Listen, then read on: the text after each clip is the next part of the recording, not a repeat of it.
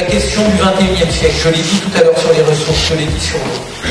Mais le grand combat que nous avons et que nous allons avoir à mener devant c'est un combat qui a été mené au 19e et au 20e siècle sur la défense des biens sociaux. Et bien le combat que nous allons nous maintenant mener, c'est celui de la défense du bien commun et des intérêts publics contre les intérêts privés. Parce que ne vous y trompez pas et ne vous laissez pas avoir par les discours qui sont en train d'être développés d'un côté comme de l'autre en disant c'est un combat de l'Europe contre les États-Unis. Tout ça c'est du code. C'est pas vrai.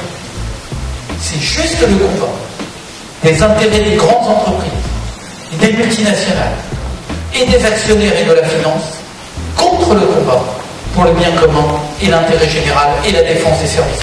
C'est ça le combat.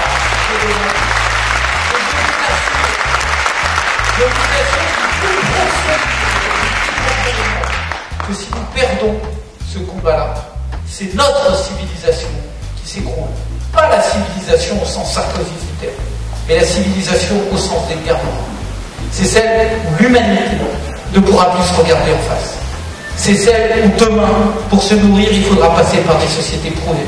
Il faisait où demain, pour avoir accès à l'énergie, pour avoir accès, on le disait tout à l'heure pour Internet, pour avoir accès à tout ce qui est le vivant, la terre, l'eau, l'air que l'on respire, sera privatisé et aux mains des grandes entreprises. C'est donc un combat absolument essentiel.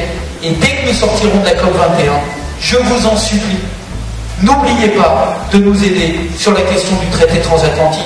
Yannick Jadot, moi-même et d'autres, on mène le combat au Parlement européen. Mais il faut tous et toutes se mobiliser pour ce sujet-là, pour cette question-là. Je le répète, c'est l'humanité qui a rendez-vous avec elle-même.